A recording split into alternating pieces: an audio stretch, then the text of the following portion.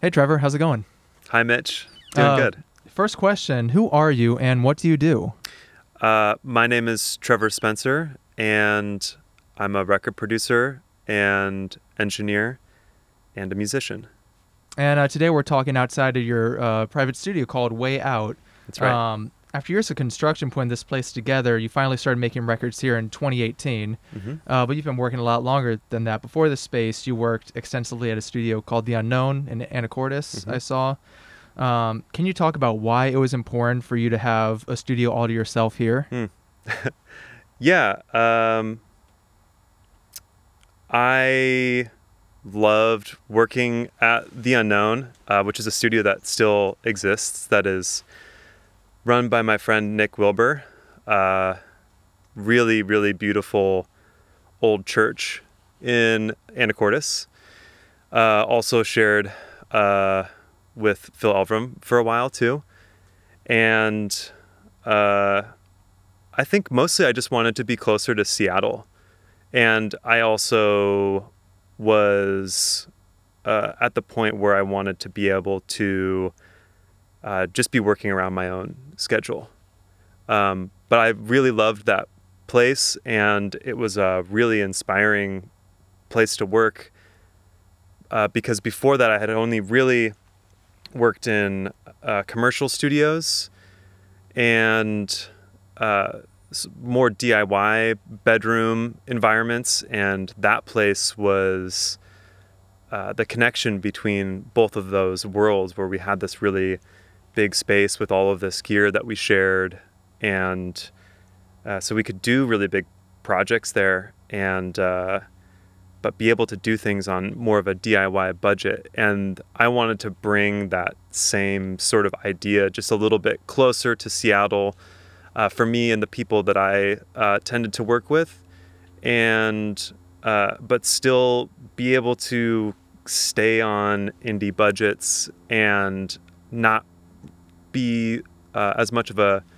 commercial studio, but more of a private studio for the projects that I was working on, and also for other engineers uh, and producers too. There are there there have been a few other engineers and producers that have uh, worked here, which has made me really happy. It's really nice to be able to uh, let uh, some other people take the keys every once in a while. Um, the uh, the the last uh, Great Grandpa record was done here um, with Mike Davis and Sam Rawson, which was really cool. And uh, there was a Megabog record that was worked on here uh, with my friend uh, Jeff Traeger, who also helped build the place. And uh, probably forgetting a couple other things, but um, yeah, well, I'm- sure that's gratifying to have. Uh, Yeah. And there's so many great studios around here, so to have people like you put a lot of work into building this space, Yeah. and to have people like, that's the place I want to work at. That's got to feel good. Was there Yeah. certain things, uh, well, whether it was the unknown or other studios you worked at, where you saw, oh, they have this piece of gear, Mm. or did did you have things as you were building this studio? I want to replicate that from this space and put it in here. Yeah. You know, I think uh, one of the main things that I, I, I was trying to definitely incorporate uh, a couple ideas between the commercial studio environment and um, a place like the unknown, which was sort of this really great DIY version of a commercial studio. Um, uh, I sort of wanted to have my own place that was uh, another sort of DIY place, but had some more of the workflow and the things that are built into the walls that commercial studios had. So when I got this place, there was no insulation or drywall. And so I was able to put all the cabling and electrical into the walls beforehand and HVAC, you know, just creature comforts like heat and AC. Um, that at the time, at the unknown that I was there, uh, were less available. Now I, I, I believe Nick has put in some heat and stuff too, which is super cool. Um, but I just wanted to be able to have the sort of connectivity of uh, a studio and be able to have a place that people could stay to, um, which I think was something that I got from my experience working at Bear Creek as an intern. They have a really large residence there, and I certainly don't have that here, but I realized the importance of being in this in this place outside of Seattle, um, and how valuable it would be to be able to have people stay here comfortably too. Um, so, uh, yeah, I think all of those things and gear specifically. Uh, I have it particularly bad with gear because I do a little bit of everything. So being a, uh, somebody who enjoys keyboards and synthesizers and um, drums and guitars and amps, I mean, I don't really know where to start. but so I definitely have a little bit of everything. And uh, I have a 24 track tape machine because I like to record on tape and also uh, record on the computer. So, um, but yeah, that's a long version of mostly saying that I really wanted to have the creature comforts and the connectivity of a larger studio, but be able to uh, do it myself. And as a tease for everyone listening, uh, we will get to see uh, all, all this stuff that Trevor's talking about here a little bit later. That's right. Uh, but before that, I want to talk about collaboration. You've worked with a lot of, uh, you have a lot of recurring relationships with uh, art- artists you work with. Mhm. Um, there's several albums with Father John Misty, uh, Kyle Craft, Valley Maker, Sky Mhm. Sh- uh, Skjelset from Fleet Foxes. Mhm. I'm really liking that new record uh, Cool. that came out recently, by the way. Uh, which I read is the fifth record you guys have done together. Yeah, that's right. That's great. Um, as, as you build a bond and a trust with artists, I imagine it could be easy to get into a mindset like, oh, here's what we did last time. That worked Mm. really well. Let's do that again. Yeah. Is there ever a concern about repeating yourself or not being inventive when you get into these Mm. kind of recurring uh, collaborations? Uh, that's a great question. I I find that even uh, with these sort of uh, reoccurring records with the same artists, um, uh, everything is always different. You know, there's so many different variables that go into making a recording. Um, so I think you know I think the that onus is really a lot of times on the artist Right. and um, my I see my job to be a really good helper and to do whatever is needed. Um, and usually at the direction of the person and sometimes I can help facilitate what that direction and help might be. Um, I think a lot of times uh, it ends up I think a lot like a lot of those uh, artists that you mentioned they've all been in different spaces and um, a lot of the more recent things being here has been really great because we've been able to do records in one space which is really nice and really a, a privilege to be able to do that um, i like jumping around to other studios but just sort of having the feeling that you're making a record in one space and you build comfort in the space over the uh, entirety of the project is is really nice. Um, as far as the collaboration goes and the more artistic part of it, uh, maybe the, the the musical quality of things, um, I think uh, doing these sort of reoccurring projects definitely promotes more musical collaboration over time being more comfortable with each other's musicality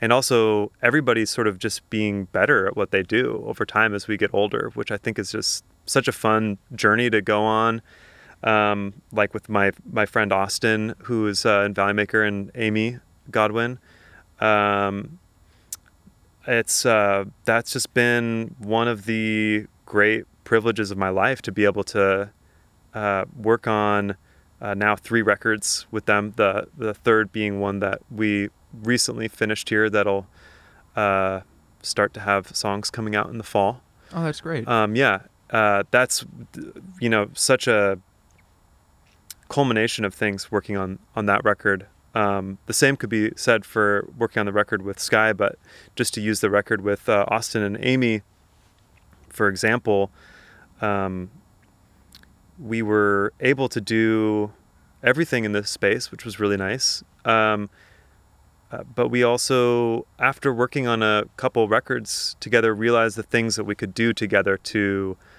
be more prepared and be more comfortable in the process. So we did a lot more pre-production on the record and really um, spent a lot of time on the songs together before we actually started recording things. We had demo sessions and uh, what we referred to as round tables of just like sitting around a table with instruments and um, like everybody feeling comfortable with stuff and collaborating on like typical production things like oh maybe there should be a different chord here or it would be cool if there was a bridge or we all really like this line of this song.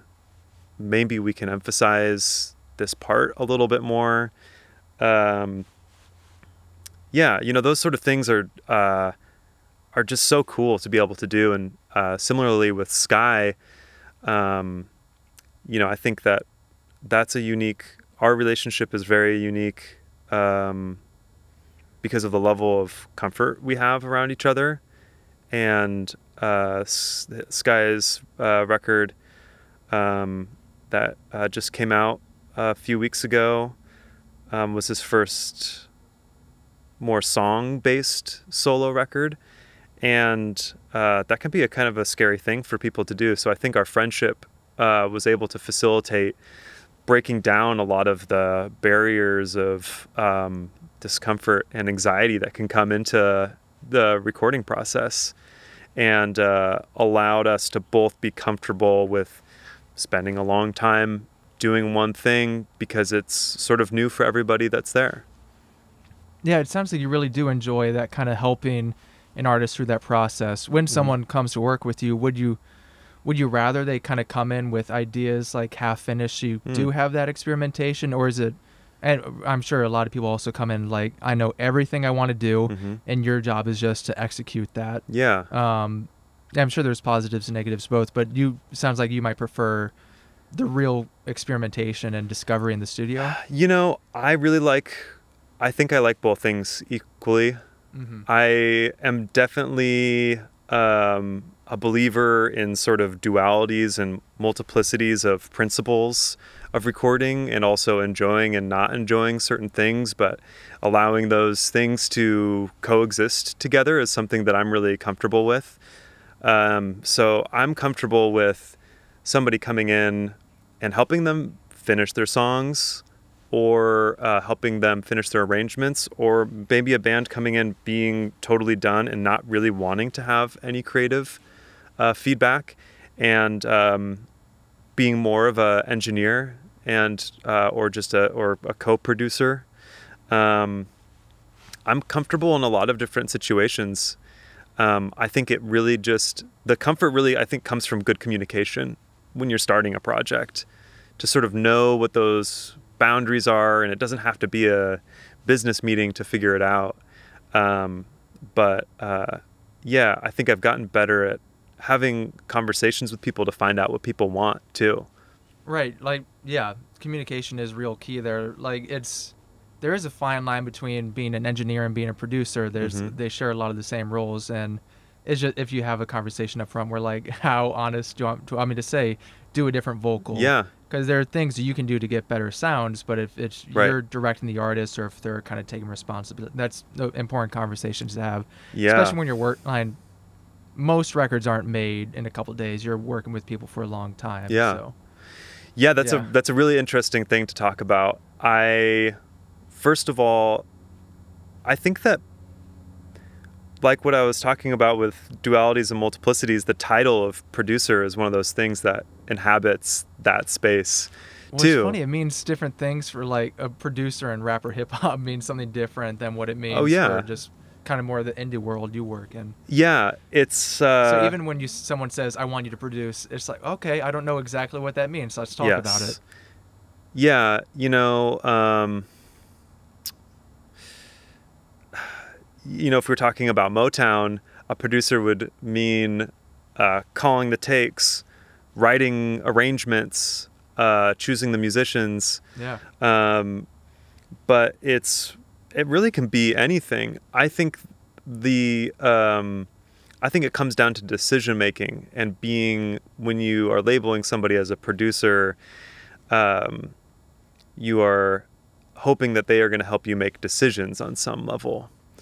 So I think as soon as you cross that line of being somebody who is doing something as simple as calling a take on a song, if a if a band is performing and they need somebody to be able to tell them if something is finished, I think that that can be producing too, because you might end up with a different result creatively if that uh, feedback isn't there.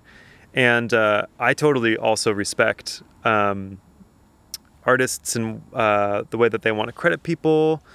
Um, I always give that job to the artists, and sometimes there's, uh, hopefully, there's a discussion about that.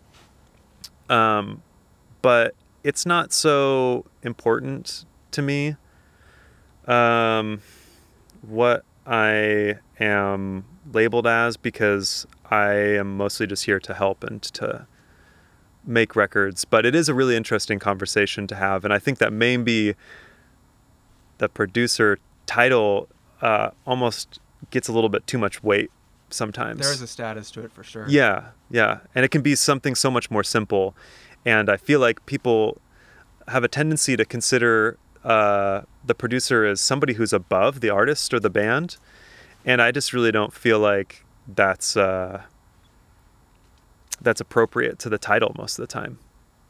Uh, other engineers I've talked to, uh, I almost always hear them say they prefer making studio records as opposed to doing live sound. Is that true for Hmm. you as well? Yeah, I have an interesting relationship with You've live done a lot sound. of it. Yeah, because I've done a lot of it, but I also um, I also never intended to get into live sound. Uh, my introduction to doing live sound for the first time was uh, when I was a monitor engineer for Fleet Foxes uh, when they were touring uh, Helplessness Blues, and uh, that came about from me being an assistant engineer on that record and just developing a friendly relationship with them and being asked to do the job regardless of my experience level, uh, which was pretty uh, baffling to me, and I think baffling to a lot of other people who were touring professionals in that group at first. But um, I was really excited for the opportunity. It came at a really uh, great time in my life. Um, uh, but I'm trying to. The your question was more about uh, whether I prefer live sound or studio Well, I- I- engineering. and you kind of answered it. I do want to Yeah. talk about live sound though, because yeah, uh, yeah, you were talking about that Fleet Foxes tour in a, Yeah. a KEXP interview I read you Right. did uh, maybe a couple months ago. That was Mhm. now, um, yeah, where you said like on. You were kind of an assistant producer on that, and you weren't expecting to get asked to tour with them. So it's kind Right. of a scary thing at first. Or I haven't done this before, yeah. and that's a big commitment to do it. Were there any? Uh, yeah, what did you learn do, doing that first tour with them? Well, yeah. So I was only a studio engineer and only 20, I think 20, maybe even 19 doing uh, that record where I was an assistant engineer. And um, I. I learned everything that there was about live sound in a pretty short amount of time because uh, I had never done any sort of live sound before, and I didn't even realize that uh, bands took engineers with them, especially to do monitors. I mean, I had never played a show with a monitor engineer, maybe one time, and I had been on tours in station wagons down the west coast, um, but nothing of being in a bus and flying places. I mean, I could go on and on, but um, uh, it was a huge learning experience and really um, i feel so lucky and privileged to have had that opportunity um, not only for the sort of re- technical refinement of my skills as an engineer uh, which i found very valuable um, Does that translate to studio records? Do you yeah, think? yeah, I think so. Um, absolutely. Um, I I developed a really acute sense of frequency, um, meaning that uh, in the human range of hearing from 20 hertz to 20,000 hertz, if I heard a, a, sine wave at a certain frequency, I could get close to pinpointing that frequency, which is a skill that you develop in live sound to prevent feedback from happening, um, or from maybe cutting out unwanted frequencies.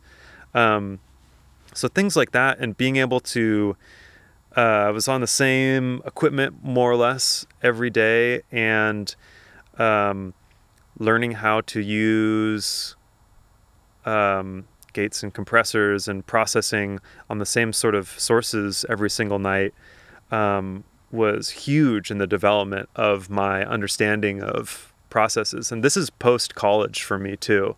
And uh, I learned so much more in that experience, I think, that I did post college and post working uh, Bear Creek as an intern and a house engineer for a little bit. Um, uh, in that year, probably touring, and in the consequent years of touring. Um, but you know that experience was really valuable for that but also for traveling and being able to see the world and meet so many people that i would have never have been able to met, uh, meet otherwise yeah a lot of people including myself would be envious of that and yeah, Yeah. that's so cool you had a great time doing those tours and Mhm. yeah afterwards you you did some touring with tennis and most famously a long stint with father john misty yeah uh, if you don't mind i do i have a father john misty question Sure. you're yeah you're friends with him you spend a lot of time around him hmm uh, from the audience side, there's a lot of mystique around his like stage personality. Hmm. Um, yeah, can you speak at all how much of Josh Tillman is in Father John Misty? Um, you know, I think that uh, like many artists, there is a lot of what is out there for somebody on stage, and also a person that is behind uh, all that in a private life too. Um, Absolutely. so I think there's um there's a confidence that I really admire with Josh uh, in his performing, and just like musicianship that is, uh, I think really uh, uh, obvious to a lot of people, uh, especially that see him live and like understand like wow he's hitting every single note. Um, and even when he was in Fleet Foxes too, of being behind the drum kit and singing harmonies at the same time. So I was always really blown away with his uh, music- musicianship. Um, and uh, yeah, I feel really lucky to have been close with him for a number of years. And uh, I think he's funny on stage Oh, he's or hilarious. or yeah, or certain people think that he's funny, and uh, uh, we both like to joke together, and that has been a uh, you know one of the best parts of our relationship together is humor. yeah. Yeah. Are you able to say if you're working on any new music with him? I know Uh, he was in the studio last year with Jonathan Wilson. yeah. I haven't worked on anything with him recently, um, but he's definitely. Uh, I I think it's apparent from the internet that he's working on on things, and occasionally he sends me snippets, and it always sounds great. nice. Well, we'll be excited to hear it. Yeah. Um, in preparing to talk with you, I came across a Spotify playlist you Hmm. made uh, and helped me with the pronunciation, like Sure. Tahua Dreaming. Oh, Ta- Tahuya. Tahuya Dreaming. um, everyone can still find that on Trevor's Instagram, by the way. There's Yeah. a link to it. um, it's gonna sound silly. I enjoyed going through that collection of songs. Oh, yeah. Um, for a lot of people who've made music their profession, I I know several people who like they just don't listen to music for pleasure that Mm. much anymore. Either you just need breaks from doing it, or for the for artists maybe they don't want to be influenced too much by what they're hearing. So it, it made me happy to see that you still enjoy music in such a, a casual manner. Oh yeah. Um, walk me through some of the choices you made Hmm. assembling that playlist. Do any particular songs mean anything to you? Oh And yeah. If you need a refresher, I uh, yeah, I have a list of the songs. Uh, oh yeah, sure. I'll take a look at it. Yeah. Well. There- There's some cool things on there. Oh man. yeah, yeah. Okay, so well, I made this playlist. Um, well, first of all, some context to Huya. Uh, this playlist that I made for anybody who wants to listen to it was called There are good songs on there. Yeah, yeah, It was called uh, Tahuya Dreamin', and uh, Tahuya is uh, the city where my family cabin is, and so I've spent a lot of time relaxing in there over the years and feeling good. And so it was sort of a, uh, title, an apt title uh, for um, a playlist of music that I wanted to make to feel good too, because especially uh, in these times, it's uh, I am hard pressed to want to listen to music that uh, doesn't make me feel good. So I really just wanted to be able to make something that made me feel good, and uh, maybe that would make other people feel good too. But some of these choices, I mean, I was really. Uh, there was a lot of inspiration from the Stones Throw record label and um, um, some playlists that they had. And there's a lot of house music and sort of 70s, 80s disco inspired uh, things. And I've been sort of getting a little bit more into those genres lately and having a lot of interest that is like reflected in this. Um, you know, as simple as maybe something like Carly Simon's Why or uh, Myron and uh, E and J Rock's Do It Disco. Uh, there's a Giorgio Moroder song in there and Donna Summer, uh, Larry Heard. Uh, this uh, band, Mr. Twin Sister, with the track Echo Arms, which has a seven inch with a, a couple B sides on it that is just sounds amazing and it's just like so fantastic. Um, but a lot of kind of like long play, sort of disco-y house music ish. And I'm using those terms loosely because it's not really my forte. But I think that this playlist, in some regards, was me expressing my interest in that. Um, but you know, there's some indie rockers in here too. Um, Mount Eerie uh, with uh, one of my favorite singles of Phil's, Distorted Symbols, and um, the late great Richard Swift's Lady Luck, um, which is just one of my favorite songs of all time. Um, a few little world music nods, and um, yeah, finishing with uh, Marvin Gaye's "Gotta Give It Up," which is uh, one of my favorite songs and one of my favorite artists of all time. So yeah. Nice. Well, we're going to take a quick break and come back and um, and talk with Trevor about uh, the music he writes and records, uh, his new project, Tré Michael. Cool. All right, I've done a lot of talking already. Uh, what? How about you just tell me? Uh, what can you talk? Uh, tell me about Tré Michael. Uh, well, Tré Michael is um, actually not just me, as it may appear to sound, which is totally understandable, but my friend uh, Sam Peterson and I, and um, uh, Sam is one of my closest friends that I've been playing music with for a long time, and uh, I just love him. We were roommates for a long time, and um, it's really just a way for us to uh, collaborate. We were just talking about how the project for us is maybe sort of between a solo project and a real band because we both bring ideas to the table. Um, and it's an interesting collaboration with uh, with just two people because we kind of do everything. Um, we have some other music that uh, has other people on it too, which uh, I think we're excited to share in the future. And uh, yeah, just been wonderful to put out some music with Sam because uh, we have such a great time together and have a lot of uh, love and respect and uh, just have a great friendship. And I am a huge fan of Sam's musical abilities. Uh, he's just such an awesome musician, and I am so lucky to be able to play music with him. Yeah. Well, uh, when you put out the two singles you have out so far, mm-hmm. um, and you mentioned in an Instagram post saying these are the first songs I've written and released in at least ten years. Mm-hmm. It's exciting. Um, what took you so long to get back into this creative headspace? Obviously, you were busy doing other projects, yeah. but I, I imagine you were doing some writing in that time still. Yeah, for sure. Uh, I definitely have been writing songs for a while when I was younger. Uh, in my when I was like in college, I definitely had bands and wrote songs and uh, played singing and playing guitar with a band. Um, but I definitely, um, and I think still am really interested in making records with other people.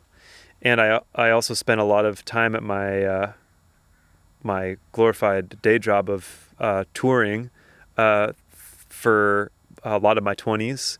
And I didn't have a lot of time to put energy onto that. Uh, and I always wanted to have a little bit more time to do it. Um, and I never, I also don't really have the desire to be a solo artist, really, especially like a solo singer songwriter. Um, and so it was always something that I wanted to do with Sam. And uh, even like five or six years ago, we actually started writing some music and uh, had started recording some of it at the unknown. Um, but time kind of got away from us and we never finished that project. It was really cool. And we had a couple other people in the band at that point, but um, I was also changing physically and emotionally. And as you do, you know, you become emotionally detached from songs. Um, if you let a year or two go by, it's hard to perform a vocal for a song that doesn't mean the same thing to you if you wrote it a couple years ago sometimes. I think that a lot of people deal with that difficulty.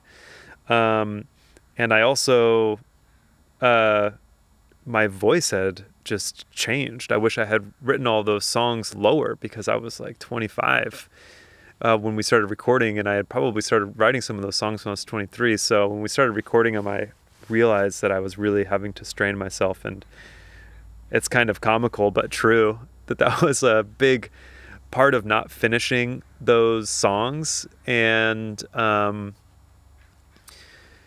you know i was also just really inspired by a lot of people that i was around. I was around like so many talented people at that point in my life i really had the urge to if i was going to put out music to really um, improve my musicality and uh, do something that I felt really good about, which is definitely a trap that you can fall into of the sort of anxiety of wanting to be a this sort of different presentable version of yourself or something uh, that I definitely help a lot of people stray away from and discourage people uh, falling into that trap. Um, but I definitely did a little bit. You know, it's a very human thing to do, and uh, I think it took a lot of time for me to get comfortable being in this role. I was definitely self conscious about being a producer, an engineer, and musician, and uh, maybe folks thinking that I would my music was representative of the thing that I wanted to do with other people uh, in the studio, which is um, not the case. And um, I think it just took me a while to get over that paranoia, which was, I think, really just paranoia. I think it's pretty obvious if you listen to records that I do that a lot of what I do is pretty different. Um, and uh, I like to do different things because I have a, I, I, it's a cliche thing for music lovers to say, but I do listen to a lot of different music and I like doing a lot of different things as a producer and an engineer. Well, about your bandmate Sam, uh, mm-hmm. I was reading your KEXP interview uh, that uh, you, you said he's a big component of you staying in Seattle. Mm-hmm. Um, yeah, I'm glad you have someone grounding you here, but I would like your perspective on the music industry here. Mm-hmm. LA and New York have larger things you could do, but is Seattle specifically? Is there something lacking in the community here that mm-hmm. our city can improve on? Have you noticed things like Seattle doesn't have X, so I mm-hmm. have to go somewhere else to do that thing? That's a really interesting question. Yeah, it's an on the spot thing. It, you may not have an answer for it, but I am curious. Yeah, no, I I mean, um, it's interesting. I was just listening to last night my friend uh, Dan Bailey, who is the drummer in Father John Misty and is also a remote drummer for lots of people. Um, he just started a new uh, podcast uh, that's like a drumming Q and A thing, and he was talking about his career and uh, he gets a lot of questions from people about starting their career, and something that he was talking about that I find really true is that, um, uh, unfortunately, if you want to it's not it's not i mean there's uh there's different shades of this but if you want to work in the music industry at large a lot of times it makes more sense to be around a community of of uh, of people uh, that are doing the same sort of things. So being in a place like Seattle or Portland or LA or New York, uh, maybe Denver or Austin, Nashville, uh, those cities. I'm probably excluding some. I'll just stick to the U.S. But um, like those sort of cities make a lot of sense for musicians to be in, and uh, maybe aspiring engineers or producers too, um, because there's a lot of people doing the thing there, and uh, a lot of touring that's coming through there, and a lot of opportunities to meet people. Um, so I think there's a truism about um, needing to be close to uh, a city um, uh, for a certain kind of work. I also, being somebody who came from more of a DIY background before I uh, uh, started touring pretty much. Um, I really respect people who do things by themselves in small towns, and I you can see a lot of success and stories of people doing that. I think that's a really amazing, and I love the idea of um, being in small towns um, or outside of you know a larger city. You know, here where I am, I'm a stone's throw from Seattle, and that makes a lot of sense to me. Um, but uh, as far as something that I don't think that uh, Seattle is missing anything. I think that there's a lot of things that are being done to Seattle, unfortunately, that are outside of the control of musicians and artists that are that are making it hard for people to succeed. Um, there's a lot more financial pressure every day, just because things get more expensive. There's so much more big industry here that is obviously pushing people out, and it's really sad. I could never have had a place like I have in Seattle. I certainly looked for it. Um, but that's just too expensive.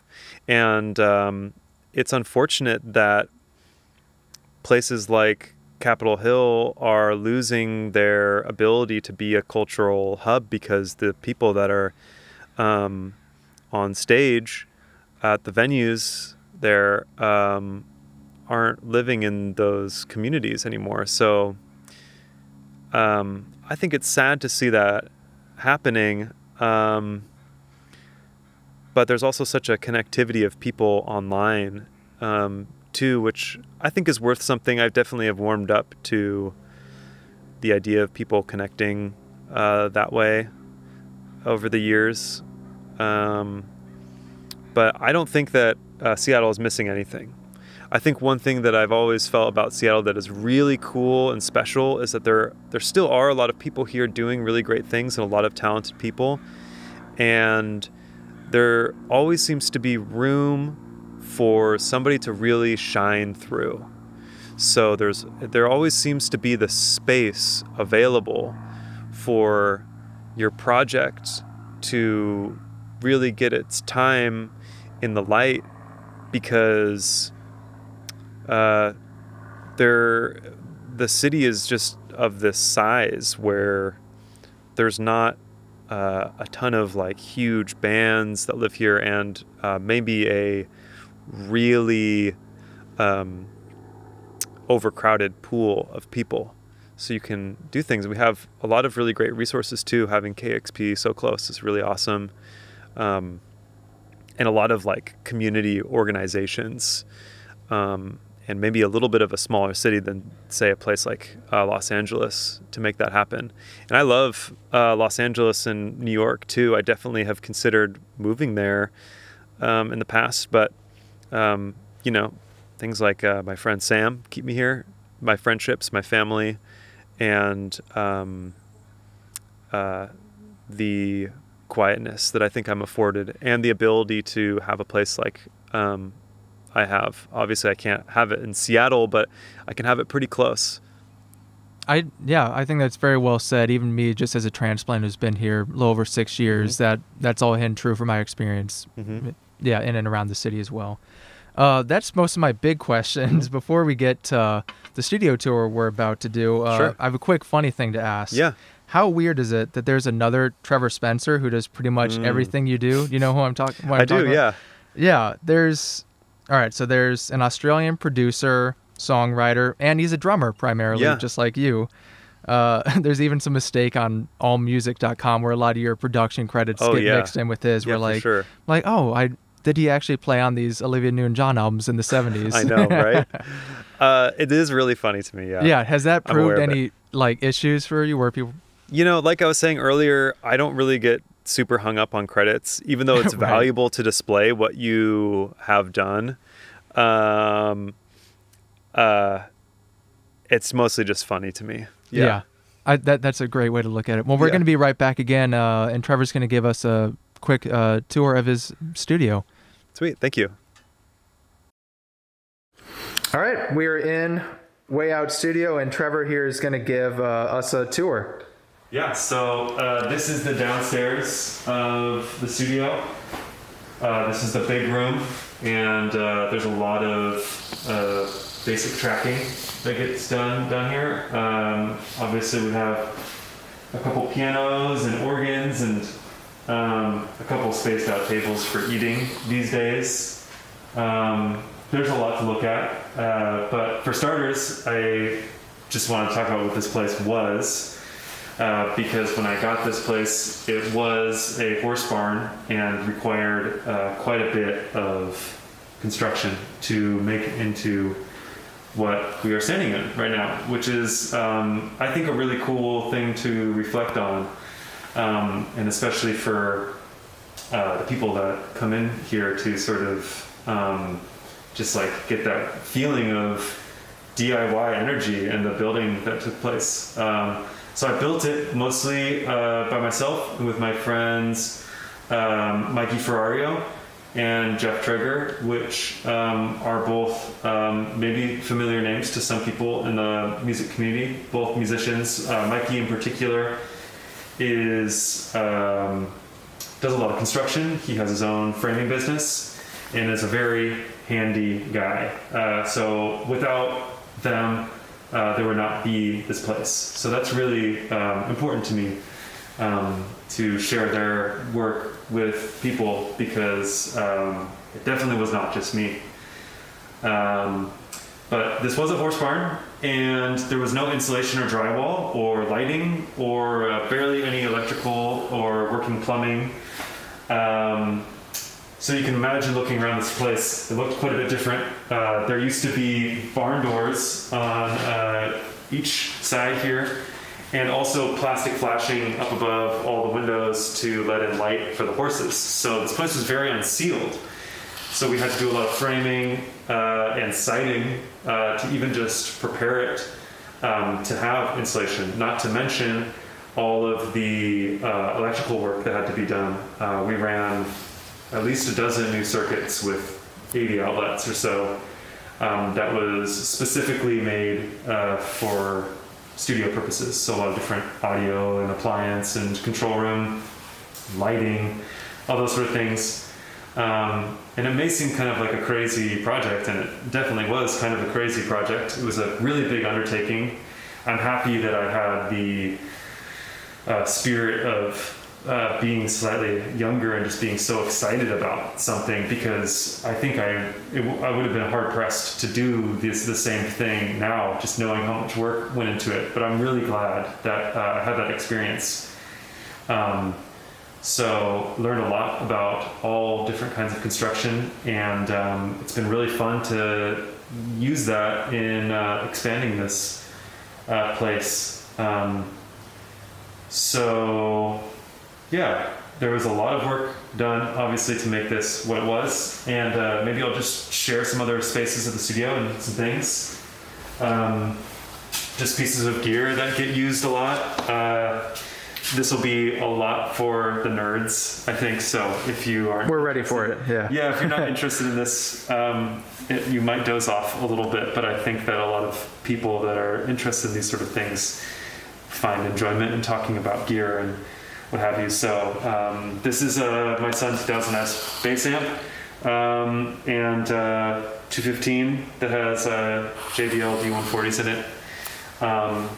Um, that's really getting in the weeds of nerdiness with models and numbers, but this is a, a piece of gear that gets used a lot on um, sessions that I've had for a really long time. It's very reliable. It's been accidentally left on for um, a couple days at a time before and um, uh, not put up any fuss. So I have a lot of respect for uh, the craftsmanship of this amp, which was made in Oregon. A really huge bass drum that I bought from a trading musician in Seattle uh, with one of my first paychecks from touring. Um, I don't know what I was thinking. It barely gets used, but it's really great to look at. And uh, a couple great Hammond organs. Uh, this is my little Hammond M3 that has been rebuilt that sounds quite good. And a much more special uh, Hammond A100 that is owned by my friend uh, Casey Wescott uh, from Fleet Foxes that has everything that you would want out of uh, a Hammond. And uh, I think one thing that people don't uh, think about with Hammonds very much, obviously there's a Leslie next to it, but is how good the Leslie cabinets can sound sometimes just coming out of the speakers. And this is just a really phenomenal piece of gear and a really inspiring instrument, and it looks cool. Um, so while we're over in this place, I'll walk you into the lounge of the studio, which is also uh, sometimes the apartment for people that are staying here. Um, so just a nice little cozy place. Uh, another thing of note is uh, there is heating and air conditioning everywhere, which is something that I feel proud of, of another project that we had to do to make this space comfortable. Um, my dad and my uh, stepmom very graciously uh, lent their support for a couple weeks while we tooled away at that project and watched YouTube videos. Um, uh, so it was definitely a family affair as, as well as being friends. And this room is also wired in um, to be used as an ISO booth. So a lot of times uh, amps will be in here or in the bathroom um, under the sleeping loft, um, which can also be used as another isolation room as well as a place to shower and stuff too. So it's definitely a, a really cozy place to hang out and to stay for a while. Um, and so going a little bit deeper into the studio, um, these pianos are uh, both uh, special in their own ways. This is a I, I actually don't really know how old this is, but it is quite old. Um, this Stroud player piano that has been gutted. So at one time this had wheels and you would crank it and it would uh, play. Um, so it's quite a deep um, upright piano, which is cool. Um, has kind of a bigger sound. Uh, and this is another um, piece that's owned by my friend Casey Wescott um, from Fleet Foxes. This is a Challen upright piano, which is a really special piano um, to me personally, uh, because uh, when I was touring with Fleet Foxes, uh, we actually toured with this piano, and I had to help get this thing up on stages, and then it was just like one of the hardest things to do, fairly backbreaking, but I love Casey quite a bit. And um, being naive and from the studio world, I just figured that if you had a piano in your band and you were of a certain size, you probably just used a piano, not knowing that that was actually pretty uncommon. And this piano is really special because this is a, uh, from the UK. Uh, I believe Casey had it shipped from the UK. Um, because uh, if you read a lot about Abbey Road Studios and um, uh, different records that were made there, a lot of times you'll find that uh, were used. And um, that's kind of what he was after. And uh, it's just a really cool piece. You can see it's like kind of worn out. It has some strip stripping on the wood from like gaff tape of like some crew person who must have um, put tape over it to like finish it down. So it's really funny that it's just this beautiful thing has like been on the road, but it just like it sounds amazing.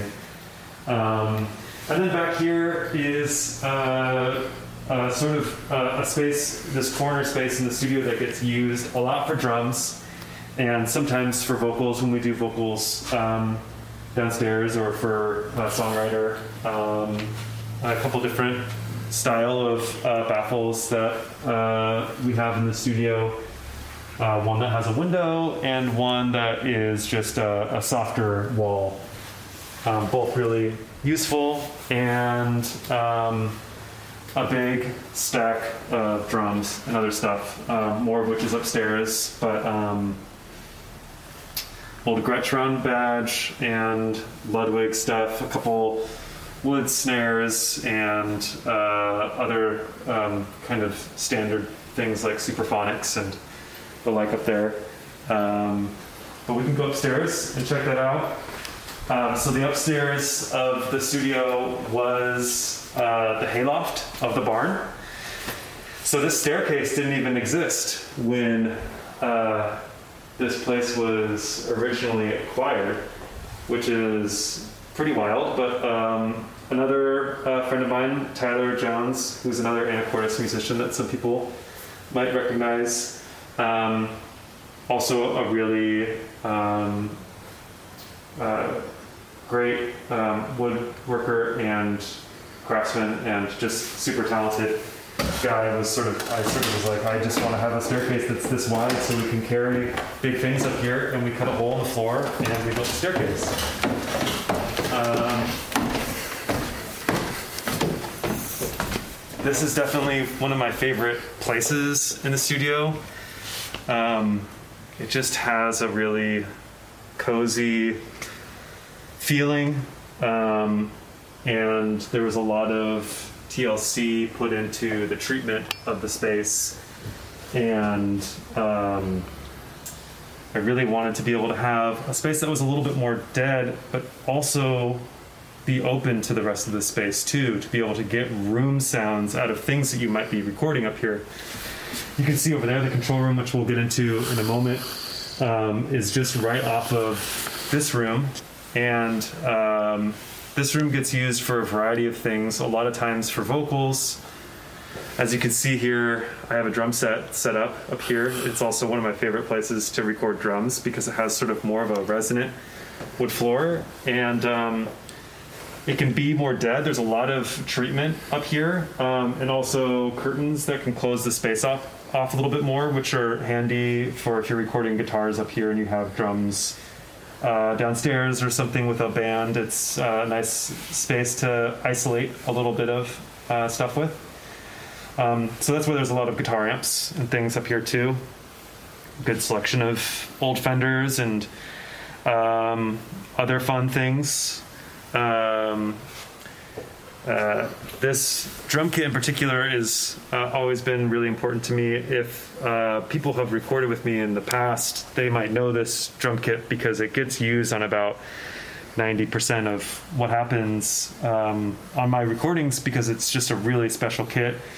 Um, one thing that I did on the Fleet Foxes tours was set up the drum kit and tune the kit and buy heads for um, Josh, really just out of necessity because nobody else did it. And uh, shortly after that tour, he moved to LA and uh, gifted me um, this kit and uh, the Gretsch um, downstairs. And that was really the most, probably one of the most, if not the most generous uh, gifts that I've ever received from anybody because being a drummer and uh, somebody who does a lot of work in the studio, um, this really got used a lot. So that was very kind of him. And uh, they have gotten used so much um, and I love playing drums. So I a lot of times if I'm mixing a record, when I'm taking breaks, um, I'm playing drums, which is another great thing about having this space is that it's also sort of a really great place for me to practice and work on things. Um, but um, yeah, drums uh, and a few keyboards, um, a Juno 6, which um, I love and most people are familiar with. This one has MIDI, which is really cool. Um, I this is sort of a funny area to me because I feel like this is like really standard like indie rock fare right now. We have the Mellotron with the Arturia and the Moog Minitaur. Um, very like standard issue, but all like really super useful stuff, which is kind of why it's sitting right outside of the control room because these are things that are super useful. The polysynth the monosynth and uh, the Mellotron get used quite a bit. um, there's a lot of other fun things around. You know, tape echoes and weird preamps and cassette machines. And this is a locker that I built for other gear. Under this is a Crumar orchestrator, which is a really cool piece. Lap steel, and um, then we have uh, the control room, which is also another really special purpose-built space which was one of the great things about being able to design this place um, with really just the skeleton. So um, we always wanted to have the control room upstairs. It just felt like we were going to be able to build an enclosed space um, in sort of a unique way with a vaulted ceiling. Um, we definitely could have made it downstairs um, and there was a couple places that we considered putting it, but um, there was something that just felt right about having it up here. You know, there's definitely advantages to having the control room down where a little bit more of the action is happening, but so much just happens right out the other side of this door, especially when you're getting into overdubs on a record, or if you're just working on a record with one or two other people. So much just happens right there. Um, so it has a really unique feel and um, there is a window that looks out on this place. So if that's your thing, that's cool. I never was really somebody um, who found a lot of value in the window in a studio looking out onto the big room. There is definitely some obvious value of being able to see things that are happening. Um, but I think also from working with a lot of new artists, I, I always felt like people felt really uncomfortable by the window and you being able to see right out there. And um, I just realized that that wasn't a priority to me. And um, so here we are upstairs in the hayloft of the studio. And um, uh, we just have a, a, view out onto the pasture that is um, just kind of across from the, uh, the driveway here um, which might be a little bit hard to see from here, but it's a really nice place to sit and work because you're really just kind of looking out onto this pasture that you might see a dog running across or something like that, and it's um, it just uh, it just feels good in here. Um, there's a lot of light and um, a lot of good airflow, and um, I've just really enjoyed working in this space because uh, we built it to be a particular way. It's double walled um, in the floor and in all the uh, surrounding walls. Um, so it is pretty isolated from the rest of the studio. There, there hasn't been any issues with that, which has uh, been really great. And um, the dimensions of it work really well for listening to music. Um, just sort of scientifically based on the sort of rules of monitor placement and stuff like that. It's a really great place to mix records which I do quite a bit of. And it was a really big priority uh, for me designing the space to make sure to have a really nice purpose built space for that. Um, so uh, it's been a great place to listen to music. Um, uh, we have um, this console, the M1000, which is sort of a unique piece. Like a lot of um, sort of 70s consoles, it has its um, particularities some things that are always kind of being worked on. Um, but uh, it has a really great sound and uh, has had a lot of custom work done onto it uh, to improve the sonics of it. Um, uh, there's sort of some unique speakers here that you don't see a lot in uh, commercial studios these days. These are uh, Tannoy ML10s that are modded by Manley. Um, and they are just really fantastic sounding speakers, very true. And um, I think the space in these speakers, in particular, um, really lend themselves to a very uh, true listening experience. And if something sounds the way it does, something sounds good here, a lot of times it's going to sound the same in your car or somewhere else, which I feel really proud of. And uh, uh, I think that the, the, the, true listening environment can be sort of shocking to people sometimes. Um, but it, uh, it seems, uh, everybody seems to, uh, other engineers and producers seem to uh, really enjoy it afterwards. Um, and uh, we can kind of sneak around here. If we're talking about the sort of building of the studio, all of the cabling terminates and actually comes out behind this rack here. So there are many channels of audio that are coming out uh, of the wall there that are being linked up into the patch bay. And uh, like we were talking about before, uh, one of the things that I was really excited about of building a place was being able to have the sort of connectivity everywhere. So uh, there are really uh, accessible places to plug in microphones and uh, headphones everywhere in the studio um, with quite with with quite a bit of ease, um, which is just a really nice thing to have, uh, like you find in a commercial studio. And uh, we were able to put that in in our sort of like elevated uh, DIY space here, um, and have the Studer? Um, 827, uh, which used to be owned by Matt Bayles at uh, Red Room uh, Studio. Um, really great producer engineer that some other Seattle folks might be um, familiar with, but it's interesting. I used to only record to tape, and uh, I don't do it as much as I used to. I think a lot of times just because it uh, costs more money and it takes more time. But I use it a lot for mixing. I do a lot of bouncing tracks to it um, after things have been recorded in the computer. And uh, it's definitely the most expensive signal processing sort of thing that you, one of the more expensive signal processing things you could buy. But finds a lot of use that way, and occasionally when it gets uh, used tracking, it's also really fun. And uh, I love using tape um, as much as I do uh, the computer and using them together. This is a very hybrid digital and analog setup. So, yeah.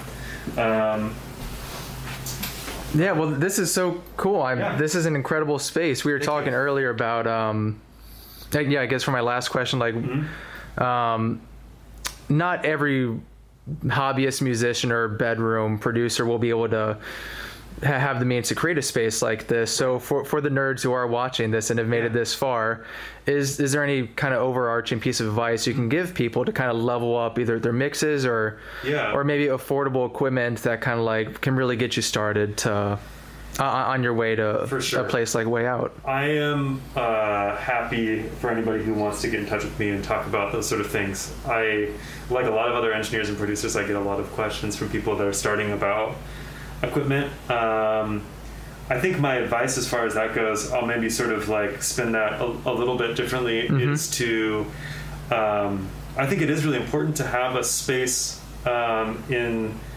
uh, the way that uh, records are made uh, now that is of your own that you can do some work in.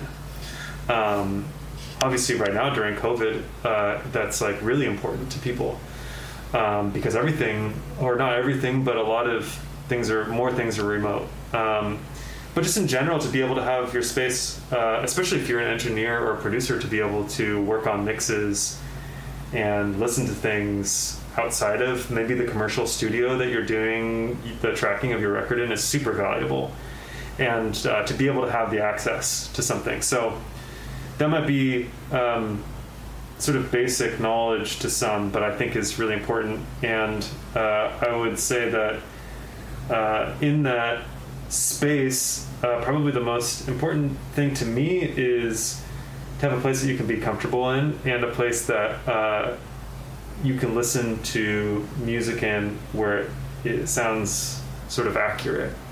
So I think uh, list, uh, improving the way that you are listening is going to um, foster the most success in uh, making your recordings sound good. That makes sense. Whatever space you're in, make the most of it acoustically and make it a vibe. That's a good. That has a good creative energy and Yeah, workflow to it. For sure, yeah. Speakers and um, maybe light acoustic treatment and um, like a comfortable place to sit. I think it's like really important. Well, Trevor, this was so much fun. Thanks Yeah. for being on Show and Tell today. Last word's yours. Uh, where can people get in touch with you? Where can they hear their work? Uh, Yeah. Uh, so uh, there's more information about the studio and the construction if you're interested about that kind of stuff uh, on my website, which is trevorspencer.biz. and you can see other projects that I've worked on and find my email address to get in touch there. And uh, yeah, thanks so much, Mitch. It was great talking to you. Yeah, you too. Later, everyone. Bye.